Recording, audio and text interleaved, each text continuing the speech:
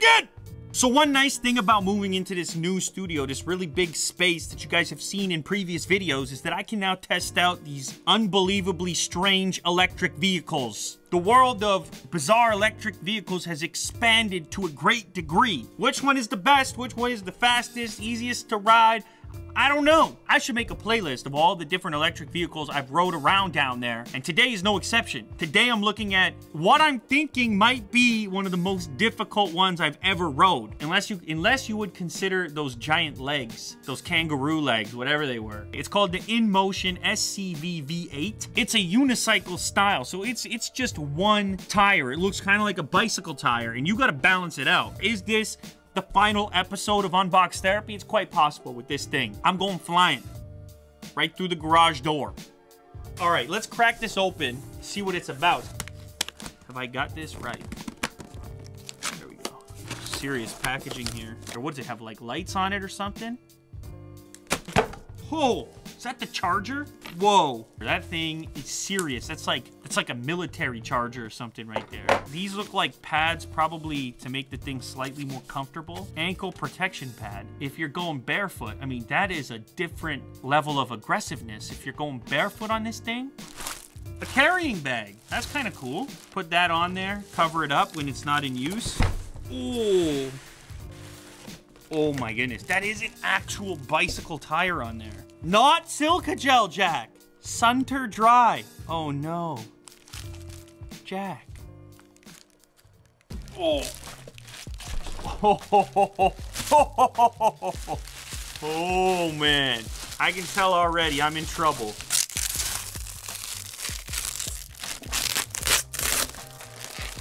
Oh my goodness.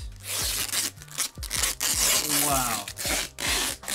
Oh my goodness. These are where your feet go. You step on it like that. It's kind of got grip tape like a skateboard on it. There's a handle on the top. Oh! Check that out.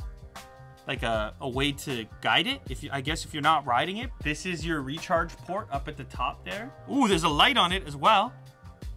And here's the power switch right over here. Let's take this thing downstairs and uh, see what I'm made of.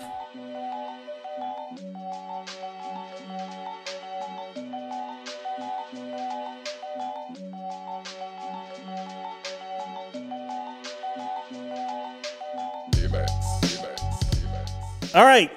Oh. Look at it's kind of starts to balance itself.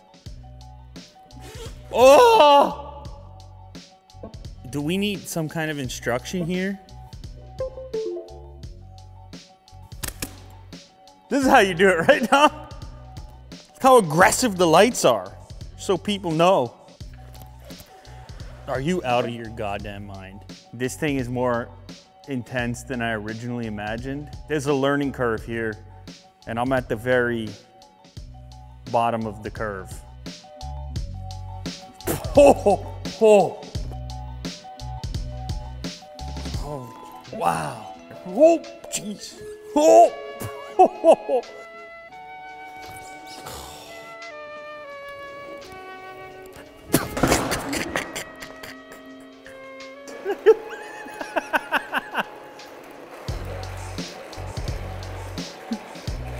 Obviously, this is not the way they expect you to ride it.